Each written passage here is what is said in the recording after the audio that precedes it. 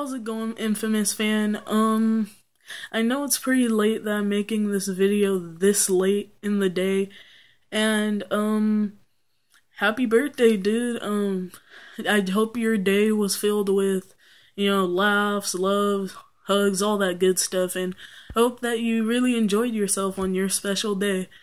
And also, um, just want to say, you know, congrats, dude. I don't know how old you are now, but but that shouldn't matter. Uh, what really matters is that you enjoy yourself, you have fun, and this day is all about you, and just live it up is all I can say. And I just wanted to, you know, here's my present to you, telling me how great you are, and um, yeah, you may have been, you haven't been subscribed on my channel for since I first started, but that really doesn't matter to me. What matters is that You've made such a big contribution to my channel. And just seeing your comments all the time and seeing the support that you show on my channel is just amazing to me. And as PewDiePie says, I would give you a bro fist right now, but you know, it's pretty late. Um, I'm pretty tired.